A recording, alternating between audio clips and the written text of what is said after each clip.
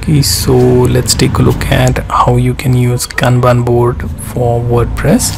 So first thing to do would be simply check out this kanban boards for wordpress plugin page. Okay i'm going to copy this name so that i can go to plugins add new and then i will search for this plugin from Gelform okay so let's paste it here.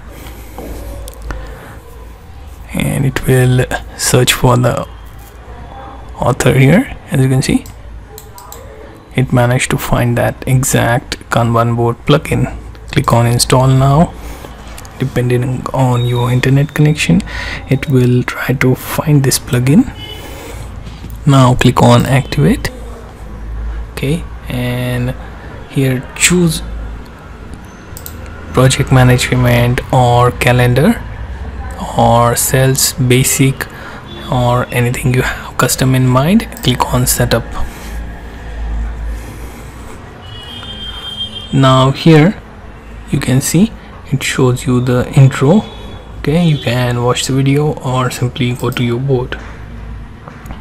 Here you can see it has created another page where you can add your elements. Simply click on let's say ready and it will ask you to add a project. So let's say I want to add Helpfolder videos as project.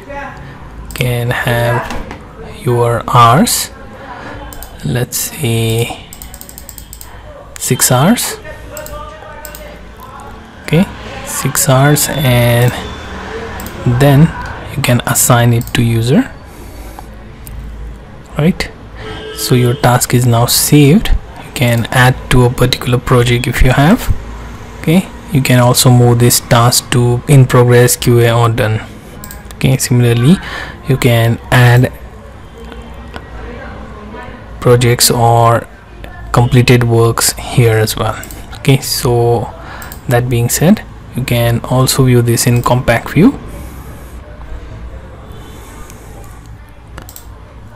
Right and then you also have archive on right and backlog on left.